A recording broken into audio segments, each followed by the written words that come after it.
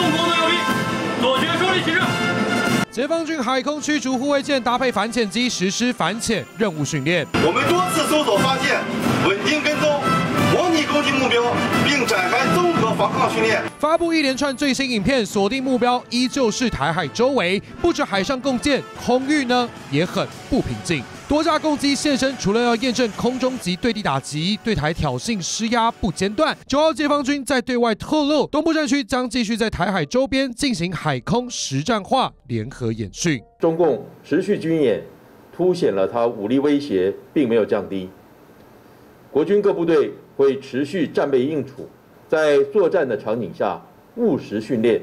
沉着冷静的应对。演训到底什么时候能告一段落？情势有多危急？传出路透社透露，九号台海中线仍有至少二十艘解放军和我军舰正持续对峙中。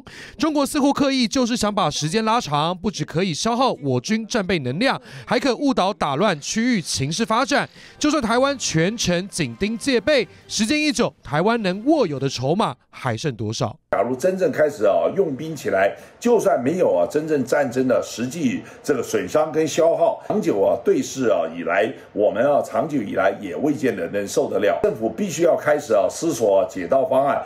如果真照解放军所说，演训没确切结束时间表，只怕未来台湾一旦有事，与其求援，最后还是得靠自己。进新闻谢前吴俊伟采访报道。